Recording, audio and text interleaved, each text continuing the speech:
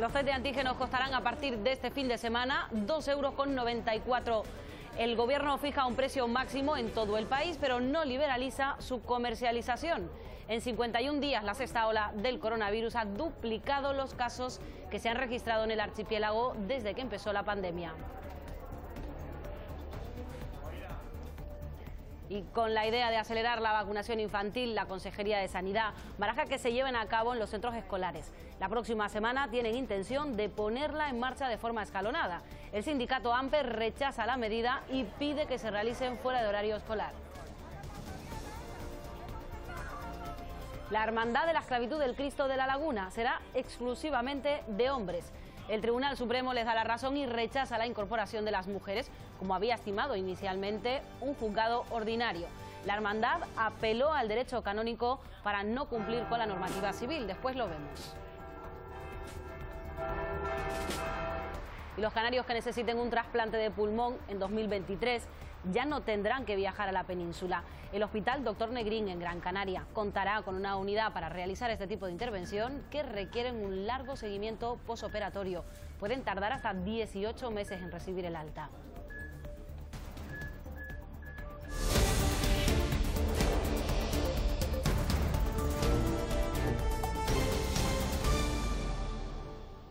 ¿Qué tal? Buenos días. Los casos de coronavirus se multiplican en Canarias y eso a pesar de que casi el 85% de la población diana está vacunada contra el virus. Las islas han comenzado el año con las peores cifras que se recuerdan desde el inicio de la pandemia. El virus ha causado la muerte de 176 personas desde el inicio de la sexta ola. El personal de los servicios sanitarios en las islas denuncia que están desbordados. A los que gobiernan y a los de la oposición. A ellos va dirigida esta carta en la que el Colegio de Médicos de Las Palmas denuncia el estrés físico y psicológico que están viviendo. Están atendiendo a todo el que llega. El problema es que están sobresaturados, que eso conlleva demoras y conlleva retrasos. Lo que más les preocupa es la situación que el alto número de contagios de COVID-19 está provocando con enfermos de otras patologías. Se quedan en su casa dando menor importancia a sus síntomas porque están esperando que pase eh, esta ola. Algo que ahora puede ser tratable, al final puede ser una enfermedad crónica, invalidante o incluso puede ser una, una muerte prematura. Piden a los responsables que los centros de salud recuperen su dinámica. Que creen centros donde se transmiten bajas laborales, donde se transmiten certificaciones de COVID, se hagan test, donde se den información. Y a la población que solo acuda a los centros de salud si tienen síntomas como fiebre alta o problemas de respiración y ese asunto fue abordado por el presidente de Canarias, Ángel Víctor Torres, en una entrevista que concedió a Canarias Radio. Torres reconoció que vienen semanas duras en centros de salud y hospitales por el crecimiento exponencial de contagios. Aseguró que el gobierno ha duplicado el personal para la atención telefónica de esta nueva ola. Se llama a esos números de teléfono como nunca, ¿no? Y por eso hemos doblado el número de, profesionales. En el campo sanitario hemos contratado todo lo contratable, es decir, médicos, enfermeros, enfermeras, personal sanitario. No podemos contratar más porque no hay más. Es decir, la situación es mm, difícil. Si no tuviésemos vacunas, eh, de hecho ahí están los porcentajes de no vacunados que están en UCI, eh, la situación sería de, de miles y miles de muertos más de los que hemos tenido en Canarias, ¿no? Y digo correctamente, miles y miles de muertos más. Y en plena sexta ola del coronavirus, 335.000 escolares volvían a los colegios. El curso se ha reanudado de forma presencial tras el paro navideño. El dato positivo lo deja la vacunación. Un 30% de los estudiantes menores de 12 años tiene al menos la primera dosis. El negativo, que las clases se han reanudado sin que se haya alcanzado el pico. Las aulas se cerraron el pasado mes de diciembre con un 5% del profesorado afectado por COVID. Los primeros datos de la consejería apuntan a que al menos 900 profesores están de baja por COVID en estos momentos. Ilusión y muchos nervios en este primer día tras las vacaciones. Estoy muy nerviosita. Ya estoy súper nerviosa de entrar al cole. Para ver mis amigos, volver a estudiar. Es muy divertido el cole y puedo hacer nuevos amigos. Un retorno con la máxima precaución y saben bien el por qué. Porque hay virus. Presencialidad y escrupuloso cumplimiento de las medidas frente a la COVID-19. Eh, nos hemos encontrado con esta nueva situación, con esta nueva ola, pero sobre todo pues mucho hincapié en el uso correcto de las mascarillas. Distancia, el tema de la, de la mascarilla, lavado de manos y por supuesto el tema de los grupos burbujas que los respetamos al 100%. Además, es una vuelta que se cumple con un 30,65% de menores entre 5 y 11 años vacunados. Un poco de respeto siempre hay, pero es verdad que ya llevamos dos años con esto y entonces hay que adaptarse un poco y seguir, porque al final es vivir. Vivir en una normalidad que continúa en esta sexta ola.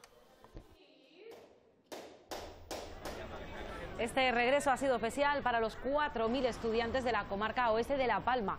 Los centros educativos de los municipios de los Llanos de Aridane, El Paso y Tazacorte han reabierto las aulas con el deseo de volver a la normalidad. Un total de 65 alumnos de tres colegios diferentes, dos de ellos arrasados por la lava en los Campitos y Todoque, han sido reubicados hasta final de curso y La Palma, que trabaja ya en la reconstrucción de la isla. La erupción se encuentra en su fase de despedida, sin tremor, sin terremotos y sin deformación. Ahora el peligro está en la presencia de gases. No hay tremor, eh, no tenemos sismicidad, de hecho creo que anteayer fue el primer día en que no hubo ni siquiera un sismo en, toda la zona de la emergencia, ni en la isla de La Palma. Eh, no tenemos deformaciones en ninguna de las estaciones que siguen haciendo el monitoreo de la situación. Vamos a provocar también, ya lo estamos provocando, algunas ventilaciones forzadas, pero lo que ocurre es que a pesar de esta ventilación forzada que, que evacúa esos gases, al día siguiente se vuelve a medir y volvemos a tener eh, niveles, por ejemplo, de dióxido de carbono que son bastante elevados. Por lo tanto, todavía ahí estaremos un tiempo. Hay que pensar en que las coladas todavía, como hemos dicho antes, eh, están incandescentes en muchos puntos y eso genera un problema claro de lo que es la obra civil. Y hablamos ahora del hogar para familias desalojadas de La Laguna, en Tenerife. En un año han atendido a 132 personas, entre ellas a tres familias enteras. Que se parezca lo más posible a un hogar, huyendo de la típica imagen que podemos tener de un albergue y que una vez que entre el usuario por esta puerta se abra un abanico de recursos sociales más allá del alojativo. Un empleo o que han conseguido mejorar algunos de los trámites vinculados con prestaciones que no conocían o que no sabían a las que tenían derecho o han mejorado a través de recursos alojativos ya definitivos que les pudiera pues bueno eh, mejorar sus condiciones de vida. Ellos han aprendido en plan muchas cosas que no sabían. Esa ha sido la función durante este primer año del recurso alojativo municipal Clemencia Hardinson de La Laguna. En este tiempo han pasado por aquí 132 personas, pero también familias enteras. Y hemos logrado que uno de los pisos sea para familias, un recurso que nos permite tener a dos familias al completo en ese espacio y evidentemente también es una, una vía para evitar situaciones pues bueno, donde la familia se tiene que dividir. Y un dato más, el 28% de las personas que han sido atendidas han conseguido rehacer sus vidas.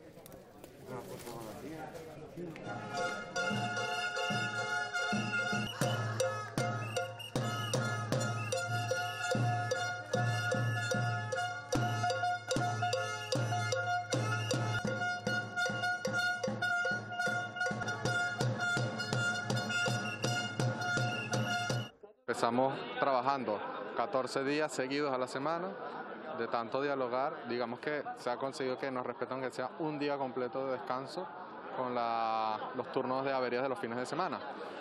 Más sin embargo, con la reforma laboral que hubo en el 2012, la empresa estaba pasando una, digamos, una crisis económica y se deslindó del convenio del sector.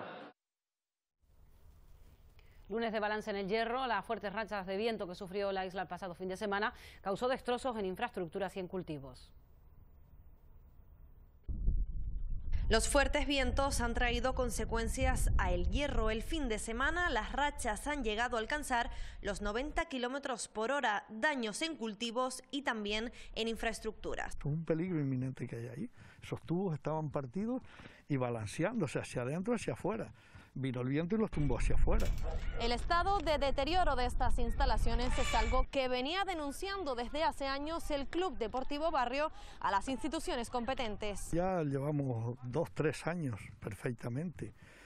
anunciando precisamente lo que ha ocurrido. De hecho, otras partes del campo se han ido cayendo, se han ido rompiendo. La puerta aquí de acceso de las ambulancias que prácticamente está media bloqueada. Y es que desde que se inauguró este campo de fútbol no se han sustituido las vallas. Muchísimos años, sí, 15 o 20 años capaz. Ya es hora que se solucione y no busquemos remiendos, porque un remiendo un día puede ocurrir una desgracia. Muchas veces eh, los entrenadores están más pendientes a los niños a que no vayan a donde hay un peligro. Una situación donde preocupa especialmente la seguridad de aquellos que prácticamente a diario utilizan estas instalaciones.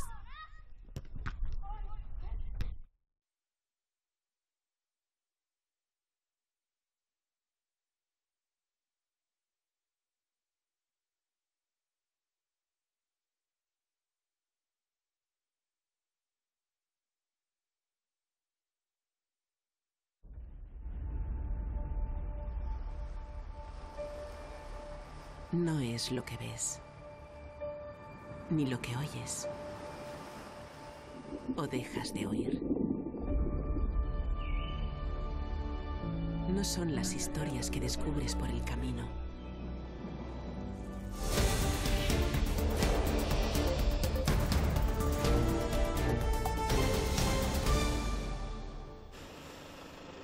Los palmeros han retirado más de 10.000 toneladas de ceniza desde que se inició la erupción tras el cese de la actividad volcánica, el objetivo ahora es hacerla desaparecer de las zonas urbanas. Las cuadrillas municipales en los llanos de Aridane trabajan sin descanso para volver a la normalidad lo antes posible. Nos queda mucho tiempo de trabajo, pero estamos en ello, llevamos muchos meses limpiando ceniza, ya lo leíamos estos días, más de 10.000 toneladas de ceniza se han retirado, todavía queda, iremos llegando poco a poco a todos los domicilios, a todas las calles. El valor de la ciudadanía palmera fue reconocido por el gobierno de Pedro Sánchez en una declaración institucional del Consejo de Ministros. El gobierno insiste en que se han tramitado en tiempo récord las ayudas aprobadas para la Isla Bonita. El gobierno de España ha movilizado ya 250 millones de euros en ayudas. Y nuestra previsión es llegar a 442 millones de euros. Las ayudas a la isla de La Palma están llegando, están llegando ya. Hay centenares de palmeros y de palmeras que ya han recibido ayudas y se está haciendo al mayor ritmo conocido en la historia de la Administración. Y La Palma también estuvo en el orden del día del Consejo de Ministros por el nombramiento de Héctor Izquierdo como secretario de Estado de Hacienda. El hasta ahora presidente de la Sociedad Estatal de Gestión Inmobiliaria de Patrimonio tendrá que trabajar en la reforma fiscal y la nueva financiación autonómica que está preparando el Ejecutivo Central.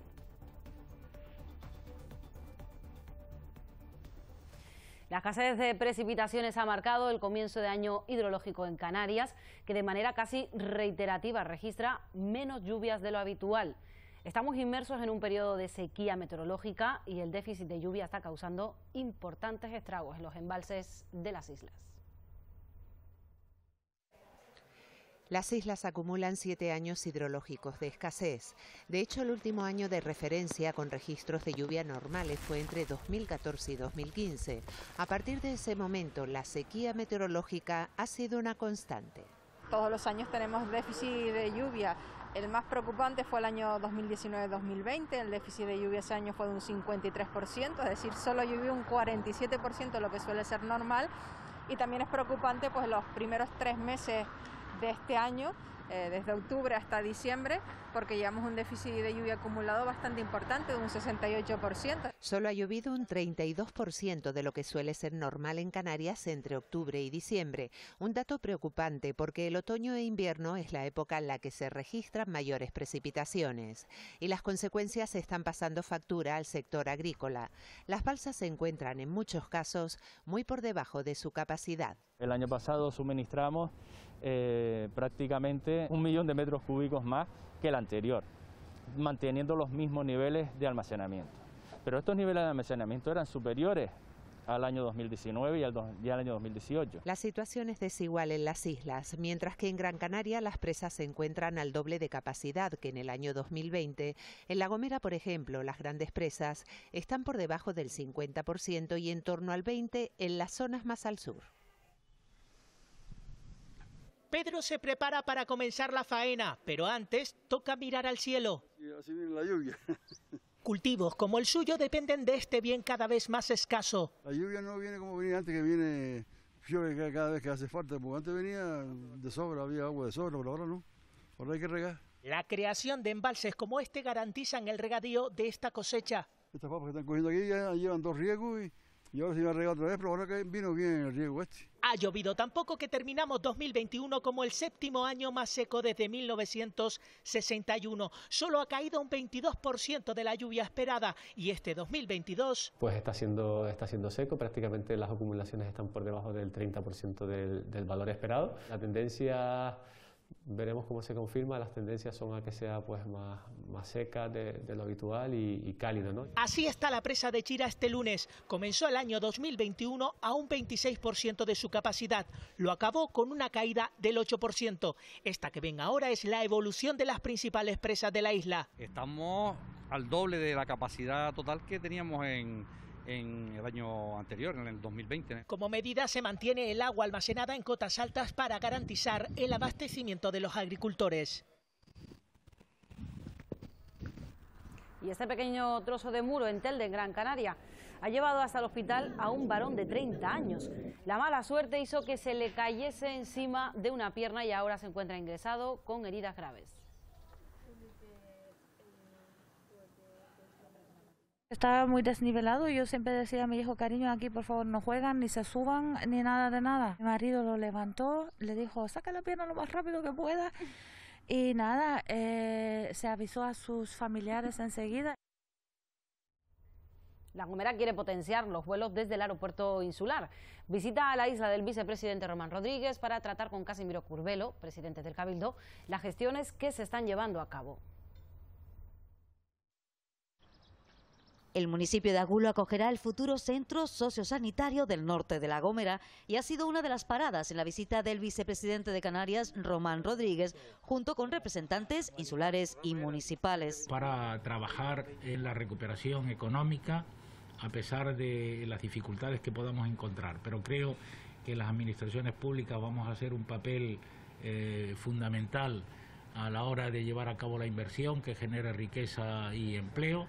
Se ha tratado también la problemática de la conectividad aérea entre La Gomera y Gran Canaria. Hemos hecho unas gestiones ante el Gobierno de España que nos permiten intensificar la obligación de servicio público para mejor conectar La Gomera con la isla de Gran Canaria y que no se remita solo a las etapas de verano y ni a un vuelo a la semana. Ahí consignamos en una enmienda que presentamos, la ley de presupuestos, una cantidad significativa para ampliar la obligación de servicio público y la conexión de La Gomera con Gran Canaria sea estable. Sobre la mesa otros temas de análisis como la ley de presupuestos, la recuperación económica y los últimos datos de empleo. potencialmente las necesidades de esta isla.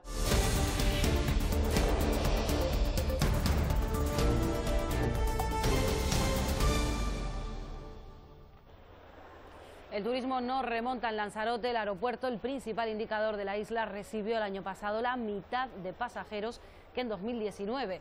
El centro de datos del Cabildo ha confirmado que las operaciones se redujeron un 36%. Para encontrar un dato similar habría que remontarse a 1993. El Ministerio para la Transición Ecológica tendrá que explicar en el Parlamento Europeo por qué no ha tramitado el expediente del hotel Oliva Beach en Corralejo, en Fuerteventura. Los trabajadores denunciaron su situación en Bruselas el pasado mes de octubre. De esa decisión dependen 400 puestos de trabajo. Instalaciones obsoletas y cada vez más deterioradas. Es la situación del Hotel Oliva Beach.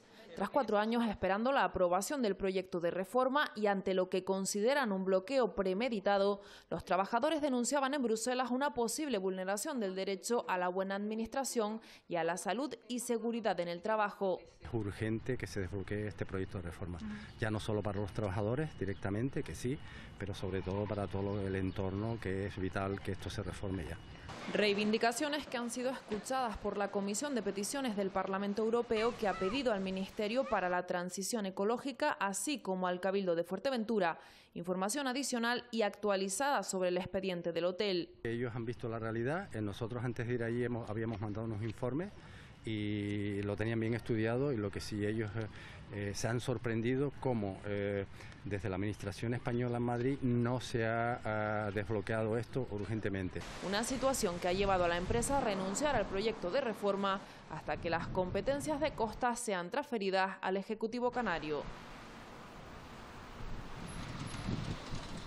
Y también en el municipio de La Oliva, movimientos políticos en el ayuntamiento. Tres concejales de En Marcha han abandonado el gobierno después de que la alcaldesa, Pilar González, destituyera el pasado mes de diciembre a la concejala de Economía y Hacienda, Idaira Rodríguez.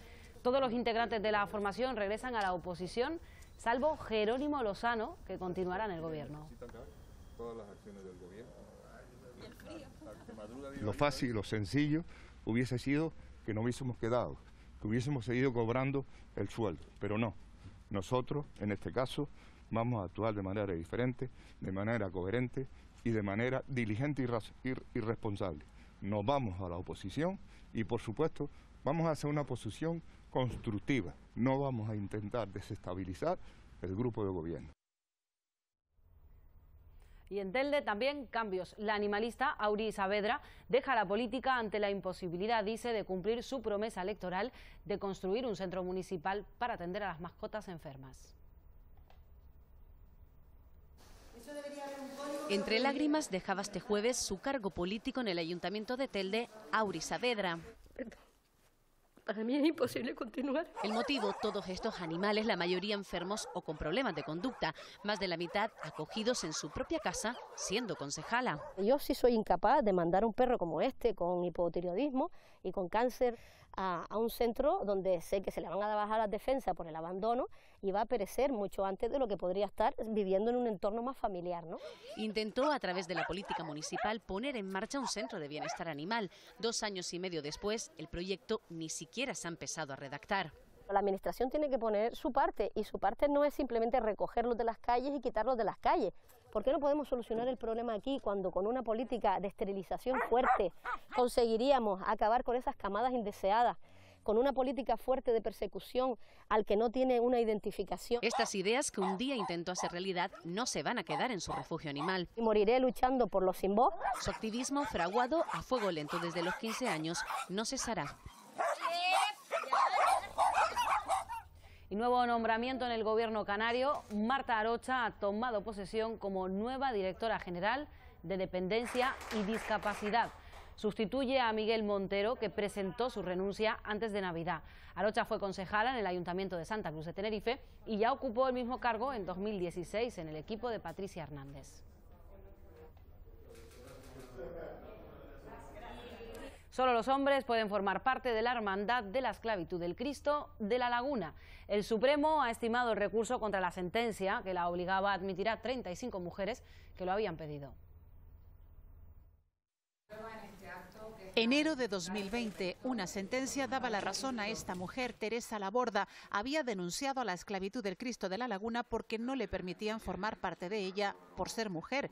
Veinte años luchando por pertenecer a esta hermandad religiosa. Ahora el Supremo revisa el caso y dice que la esclavitud se constituyó conforme al derecho canónico con unos objetivos meramente religiosos. Aquí no hablamos de un individuo, dos individuos o tres concretos. Hablamos de la exclusión de la mitad de la población, que son las mujeres. La sentencia no se corresponde con los momentos actuales y prevalece un derecho a la organización y a la asociación, que por supuesto existe, pero por encima de un derecho constitucional. La sentencia ante la que no cabe recurso ha provocado un sinfín de reacciones por considerarla anacrónica, una decisión tomada en su mayoría por hombres. Yo me pregunto si el fallo hubiese sido el mismo de haber habido más mujeres integradas en la sala civil del Tribunal Supremo. Paradójicamente, cuando se creó la esclavitud, las mujeres formaban parte de ella.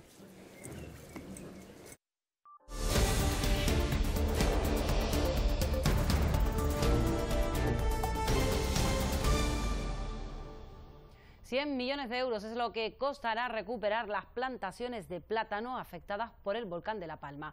El comisario de Agricultura y el ministro visitaron este jueves la isla para conocer la demanda de un sector que aboga por la recuperación del cultivo y de las fincas de las comarcas de los llanos. La Palma ha recibido la visita del comisario europeo de Agricultura y de su homónimo a nivel nacional. Ambos han recorrido la zona de Tazacorte que fue arrasada por la lava y fueron acompañados por representantes de las instituciones canarias que creen que es vital que vean cuál es la situación actual del sector primario en la isla. La solución pasa por reconstruir, la solución pasa por recuperar el cultivo y para nosotros eso es importante y es lo que pretendemos. Hacen falta importantes inversiones económicas Estamos hablando de más de 100 millones de euros para poder recuperar todo lo que es esta zona y volver a que sea zona para eh, explotación agraria. En el recorrido por las diferentes fincas de plataneras arrasadas han podido ver los efectos causados en aquellas que todavía existen. Hay que verlo para, para creerlo, que hay que verlo para ser capaz de ver exactamente no solo el ciclo productivo de las bananeras, sino también, evidentemente, lo que significa esta destrucción y lo importante que es para La Palma y para Canarias. Impacta la situación grave que se vive ahora y es el momento de demostrar la solidaridad de las personas que han perdido sus hogares, sus propiedades, sus negocios, sus explotaciones agrícolas. Hay que hacer lo necesario para poder darles el apoyo y que puedan regresar a sus vidas anteriores. Esta tarde mantendrán una reunión con el sector platanero de La Palma. ¿Quién va a buscar cuatro piedras? El gobierno de Canarias sigue de cerca la situación de la isla que, recuerden, continúa en emergencia volcánica. En la última reunión del Consejo se abordó los avances en la tramitación de los expedientes del registro único.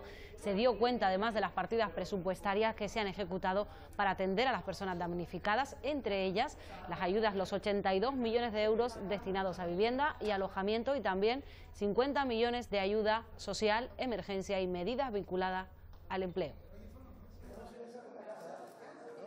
A día de, hoy se han movilizado ya de forma eh, que, ha llegado a las personas, que ha llegado, digamos, a las empresas de La Palma afectados, un total de 179 millones de euros. Por lo tanto, no estamos hablando de promesas, no estamos hablando de recursos que están previstos para La Palma, sino estos ya son recursos que se han recibido. El pasado jueves se cumplía un mes desde el fin de la erupción. Aún quedan vecinos que no han podido regresar a sus casas en la zona de exclusión, mientras que otros esperan por las soluciones habitacionales propuestas por el gobierno regional. El realojamiento de las más de 400 familias que se han quedado sin casa continúa en La Palma. Hoy ha tocado visita a las viviendas modulares entregadas y a otras que se siguen edificando. 74 metros cuadrados, abeto nórdico, tienen tres dormitorios, baño, cocina y salón comedor. Las próximas en venir serán distintas. Ya hemos iniciado la compra de 85 viviendas para aquí en, el, Los Llanos, que son viviendas modulares de un tipo eh, no es el tipo de madera que había que hemos comprado para, para el paso y, que estamos acabando también a los llanos. Son tipo contenedor porque es la que ha decidido el ayuntamiento que, se, que se compren. Los técnicos continúan baremando las peticiones. Hay vecinos que prefieren esperar un poco con tal de no salir de su municipio. Otros desean una ayuda para el alquiler. Con el proceso yendo lento, según reconocen las propias administraciones, el cabildo también se ofrece. Hemos vuelto a recordar pues la predisposición para poner eh, a disposición los terrenos que están aquí justo enfrente de, esta, de este llano al Gual. Ya se han adquirido más de 300 viviendas. La pretensión es continuar con el proceso hasta que todos los afectados queden atendidos. Y los bancos de la iglesia de Todoque, arrasada por el volcán, han sido trasladados a la iglesia de la Virgen de los Remedios, en los llanos de Aridane.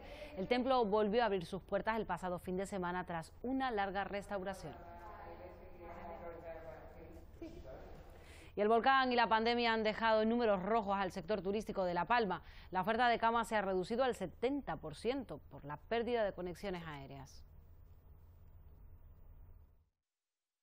Pensando que quiera venir mucha gente incluso, eh, pues nos vamos a ver eh, limitados porque nos van a faltar más del 30, eh, calculamos en torno al 35% de las camas que no van a poder estar operativas si no se nos ayuda pues muchos tendremos eh, problemas de supervivencia. El futuro se presenta oscuro para el sector turístico en La Palma. La cancelación de varias rutas aéreas y los destrozos causados por el volcán se unen a la sexta ola. Es la tormenta perfecta. Los hoteleros advierten, vienen meses malos. Toca reconstruir y recuperar a marchas forzadas el músculo perdido. Tenemos más de 5.000 camas bloqueadas, lo que es la zona Puerto Naos, el Remo, las Manchas. Acostumbrada a recibir más de 250.000 turistas antes de la pandemia y el volcán, la isla pide ayuda. Los empresarios aplauden la supresión de las tasas aéreas y el bono nacido con la idea de alentar las visitas, pero no saben cuándo arrancará. Tampoco si las peticiones lanzadas meses atrás serán atendidas. A las administraciones se envían este mensaje. Entendemos la mejor eh, vocación de hacerlo bien, pero si se desconocen los pormenores del afectado, difícilmente ese plan va a ser eh, eh, lo mejor posible para, para la isla.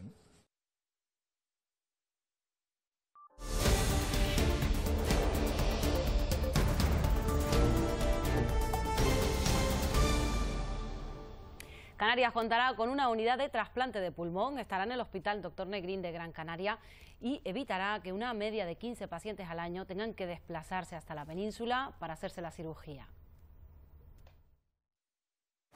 Cada año una media de 15 personas necesita un trasplante de pulmón en Canarias, una cirugía compleja que les obliga a pasar casi año y medio fuera de casa en la península. El Hospital Dr. Negrín se prepara para ser centro de referencia de trasplante pulmonar en las islas. La implantación del trasplante pulmonar en Canarias es un hito, es evitar algunas de las inequidades que teníamos ahora donde pacientes nuestros no podían recibir el trasplante pulmonar porque tenían que permanecer en una media de 16 meses fuera del territorio canario, con lo que eso supone para ello. Ya lo hicimos con el trasplante cardíaco, que además ha tenido muy buena aceptación. La tasa de donantes es alta en Canarias. Solo en 2019 se podría haber dispuesto de entre 25 y 30 órganos para trasplante de pulmón en las islas, donaciones que ahora se convertirán en una oportunidad para los pacientes del archipiélago. Lo vamos a hacer como centro de referencia al Hospital Dr. Negrín, aunque la idea es la participación de todos los profesionales de los otros hospitales universitarios en el, en el programa en el programa regional de trasplante pulmonar. La puesta en marcha de la nueva unidad está prevista para el primer trimestre de 2023. Y esta semana conocíamos los resultados de la autopsia de Olivia Zimmerman. El informe judicial definitivo concluye que la menor murió asfixiada de forma violenta el mismo día de la desaparición y no por ahogamiento, como se llegó a especular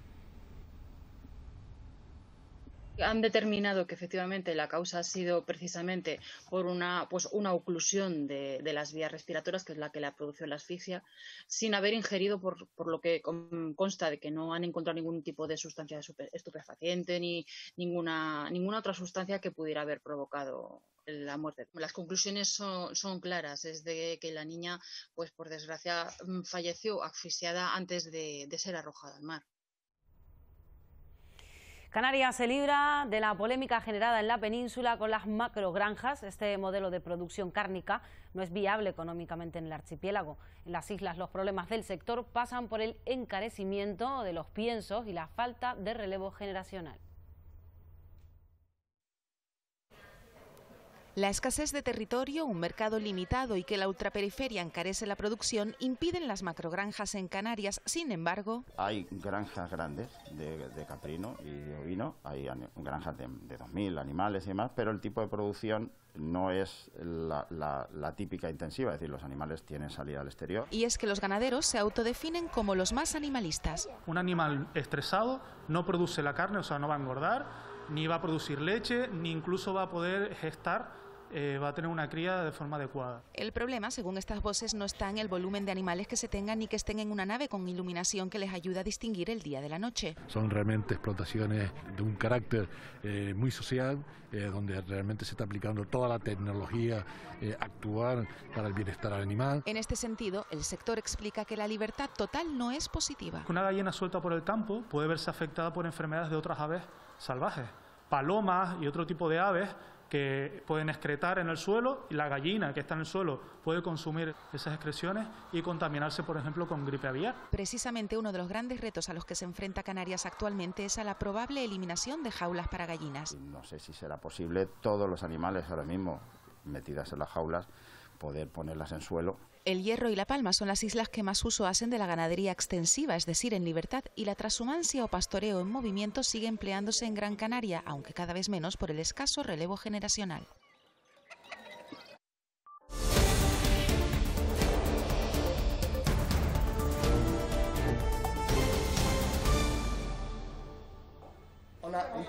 Comprar un antígenos a partir de este sábado cuesta 2 euros con 94 céntimos. El precio regulado por el gobierno llega a las farmacias dos meses después de que los precios se dispararan ante el aumento de contagios.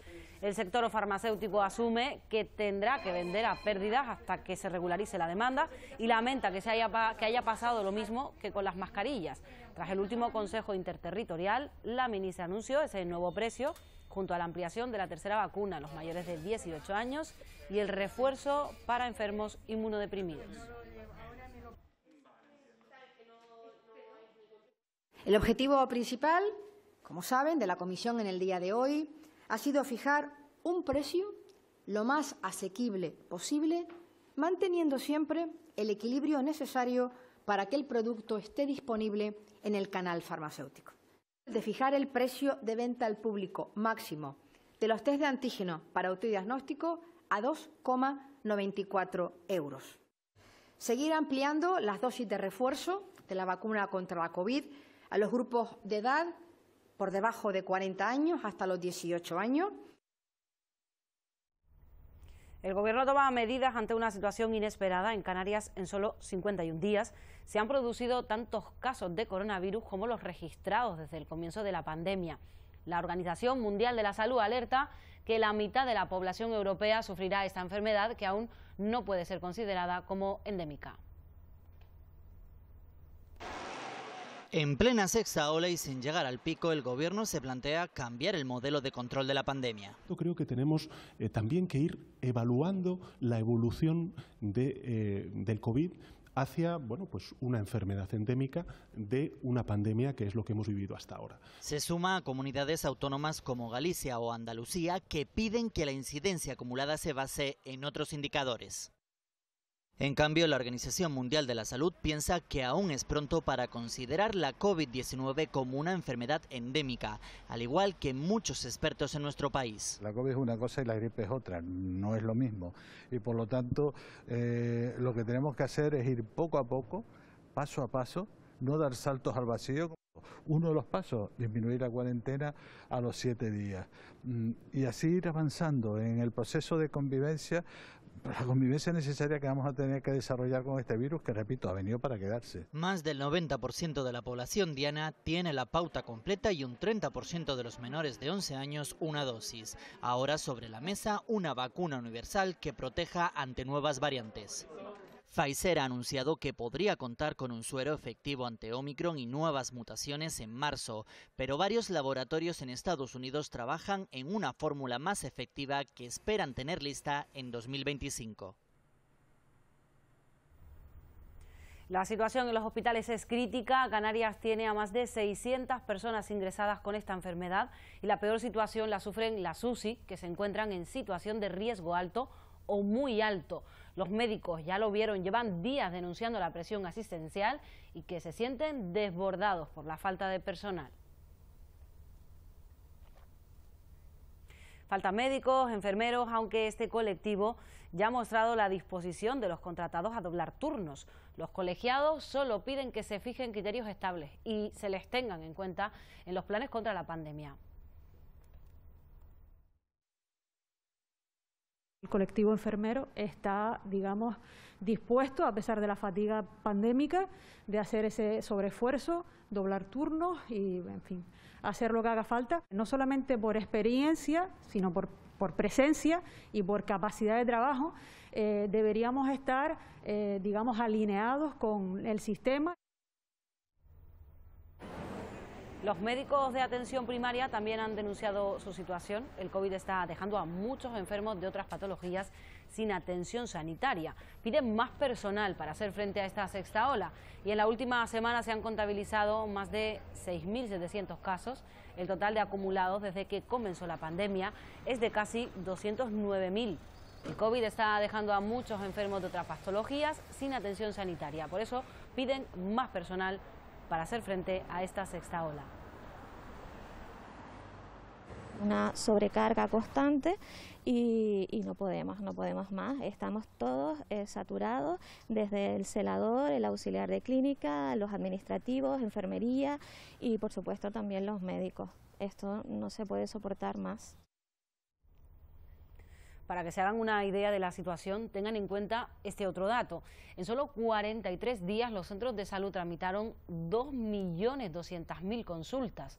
Desde la Consejería de Sanidad se apela a la responsabilidad ciudadana para evitar este colapso.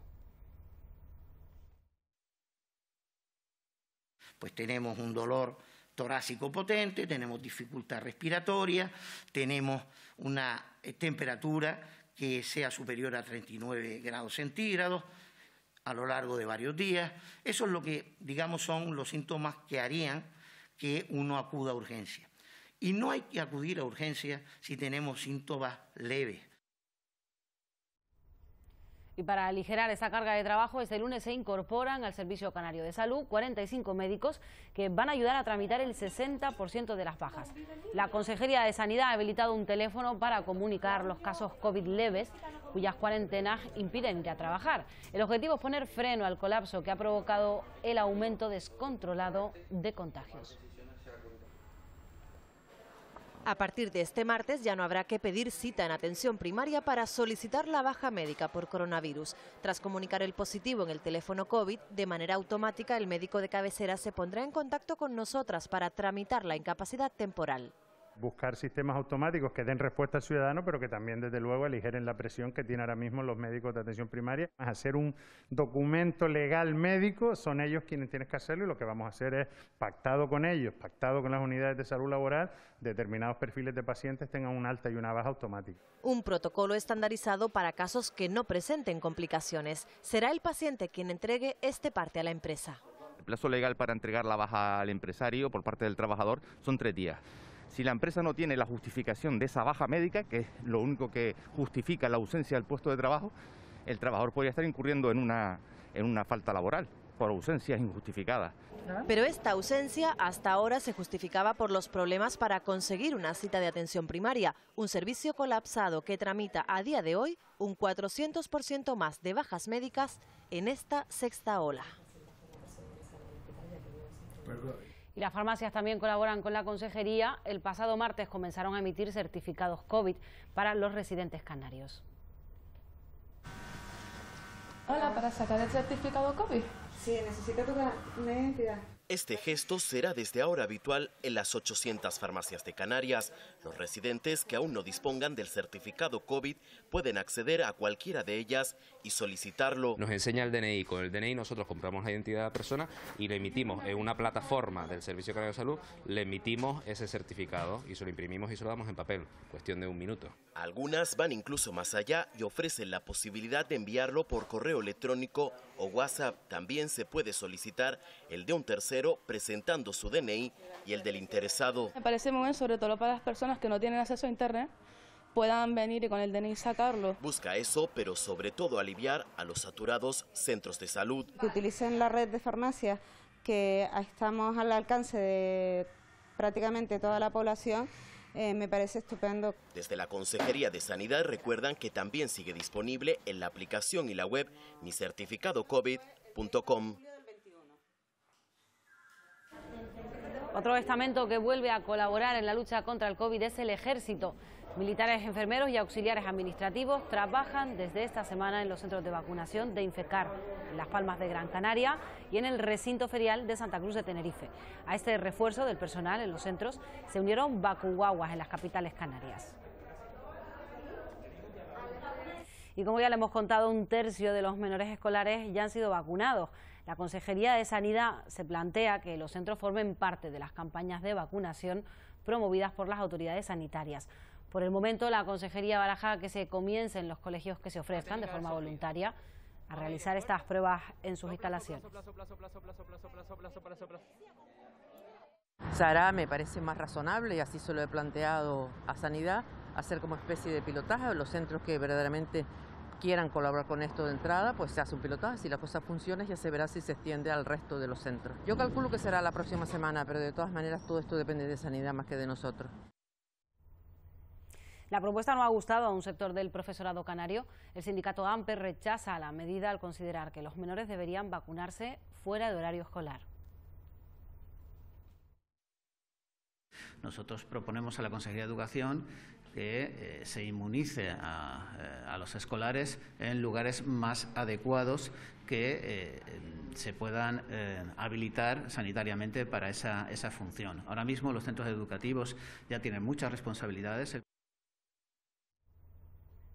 En las universidades canarias también se extreman las precauciones, aunque los exámenes del primer trimestre del año serán presenciales, tanto en La Laguna como en la de Las Palmas de Gran Canaria. Se hará un seguimiento exhaustivo a los protocolos COVID. Empiezan los exámenes en las dos universidades públicas de Canarias en formato presencial. Las 82 universidades públicas y privadas españolas están en la presencialidad por tanto, es importante que si la docencia es presencial, también la, la evaluación sea también presencial. Junto al conjunto de medidas, ventilación de las aulas, de mm, uso de mascarillas, de higiene reiterada de las mismas, eh, podemos garantizar que la docencia se puede implantar, impartir con plenas garantías de seguridad aunque desde Ciencias Jurídicas en la Universidad de Las Palmas de Gran Canaria pedían pruebas telemáticas por la situación sanitaria, una reunión en el rectorado ha acercado posturas entre la comunidad educativa. Nos han asegurado que en el caso de Ciencias Jurídicas, que son los que más problemas tenían en cuanto a espacio, se ha habilitado aulas tanto en el edificio de Teleco como en arquitectura para que se redistribuya mejor a los estudiantes, para que sí que puedan eh, asumir lo que viene siendo todo el espacio y los aforos dentro de las aulas. Desde el Consejo de Estudiantes piden que las incidencias en cuanto al protocolo COVID sean canalizadas a través de este colectivo, que mantendrá reuniones de seguimiento cada semana en el rectorado. Y la escalada de contagios ha trastocado también la celebración de los carnavales canarios. Por lo pronto, el de Las Palmas de Gran Canaria ha retrasado su inicio dos semanas y ha suspendido los actos de la calle. Mientras en Santa Cruz de Tenerife se trabaja en un calendario alternativo que tendrá muy en cuenta la opinión de los grupos participantes. El Lanzarote, Arrecife, ya lo ha cancelado. Y toda Canarias mantiene sus niveles de alerta sanitaria una semana más. Gran Canaria se mantiene en nivel 3 junto a Lanzarote, Fuerteventura y La Palma. La Gomera y el Hierro permanecen en nivel 2 y Tenerife en el 4. En la última semana los contagios diarios han crecido un 12%. La incidencia acumulada a los 7 días se sitúa en 1.488 casos por cada 100.000 habitantes y a los 14 días en los 2.707.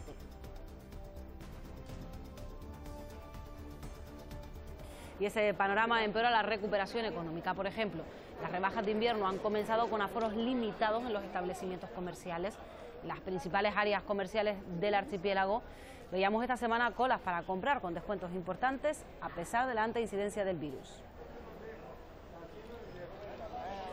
Y el sector turístico también ha visto cómo se han desplomado las reservas tras un inicio de temporada alta esperanzadora. Canarias cerró 2021 con casi 7 millones de visitantes. Los empresarios creen que el primer trimestre será malo por culpa de Omicron y que no volverá a repuntar la actividad hasta Semana Santa. Las restricciones aplicadas en Europa en el mes de diciembre para contener la sexta ola de COVID se ha traducido en Canarias en una merma importante de turistas. Los hoteles ni siquiera pueden hacer un planteamiento de las necesidades por el baile de cifras en las reservas. El 40% de las personas reservan sus vacaciones en el último momento, en la última semana. Un mes de marzo en el que esperan comenzar a despegar tras suavizar Reino Unido las restricciones. Aún así, Canarias cerró el 2021 con cerca de 7 millones de turistas. Y vuelve Fitur de manera presencial y con ganas, porque las islas ocuparán ocho espacios. La península es nuestro tercer mercado emisor, que todavía estamos en nuestra temporada alta y que afortunadamente no tenemos competidores ya no solo en clima, sino también en producto. A lo que se suma un plan especial para el turismo en la isla de La Palma. Bonos turísticos exclusivamente para la isla de La Palma durante todo el año 2022, una campaña nacional e internacional y también un plan de incentivos a la conectividad específicos para la isla de La Palma. Vuelos internacionales a 6 euros y vuelos eh, nacionales a 3 euros. Análisis de mercados, incentivos económicos, ferias, para seguir demostrando al mundo los encantos de Canarias. Y los turistas nacionales que pretendan viajar a Canarias tendrán que presentar el certificado vacunal contra la COVID-19 y una prueba diagnóstica de infección activa negativa. La Consejería ha prorrogado el cribado de los pasajeros nacionales que lleguen por vía aérea o marítima al archipiélago hasta el próximo 15 de febrero. El objetivo, controlar y contener los casos importados de coronavirus en las islas. Y el presidente del gobierno canario se suma a la lista de contagios. En su cuenta de Twitter informó que está en cuarentena sin síntomas graves y el anuncio coincidió con una nueva propuesta de la oposición. Coalición Canaria cree que es necesario un plan alternativo para contener al virus. Este consejero y todo su equipo ha bajado los brazos. Ya parece que no puede más. Se muestra cansado en el tono, en las formas, en las medidas. Y tengo que decirles una cosa, si es así, se está cansado, se está desbordado, se ha bajado los brazos, que deje paso a otro. Y antes de ver la predicción meteorológica, vemos temas de interés para la comunidad sorda canaria. Tiempo para nuestra agenda semanal.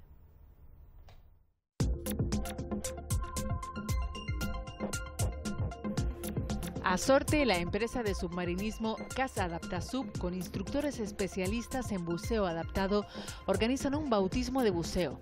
Tendrá lugar el domingo 16 de enero a las 10 y media de la mañana y para participar solo hace falta llevar toalla, bañador y acercarse a las piscinas de Bajamar en Tenerife. Para inscribirse hay que enviar un WhatsApp al número que aparece en pantalla o un correo electrónico a adecosor.asorte.org. La Federación de Asociaciones de Personas Sordas de las Islas Canarias, FASICAN, organiza una charla vía Zoom sobre el cáncer de mama. Será el próximo jueves 20 de enero a las 10 de la mañana y se informará sobre el apoyo, atención, cuidado y prevención de la enfermedad.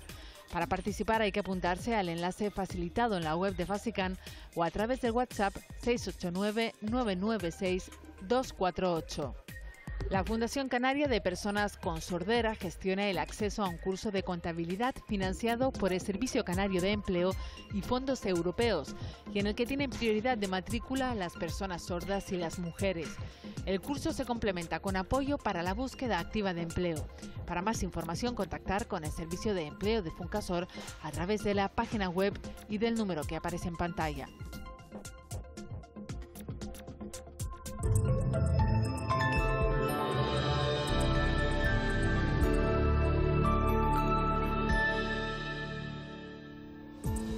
Fin de semana marcado por la calima y el viento. El sábado disfrutaremos del sol en todas las islas.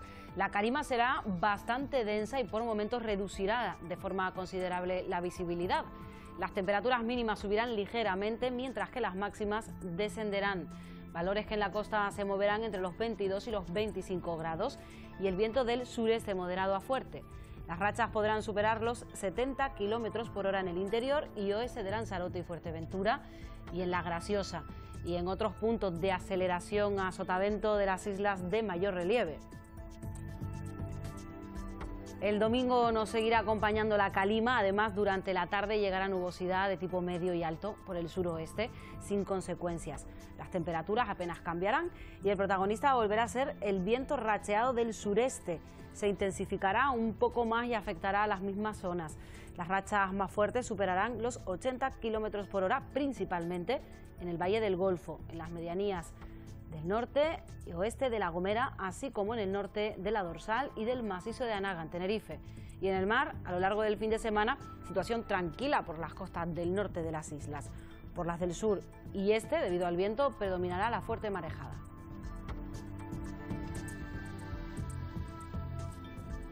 Acabamos con las auroras boreales que por esta fecha se pueden ver en las zonas polares del planeta. Gracias por su compañía. Una semana más. Sean felices.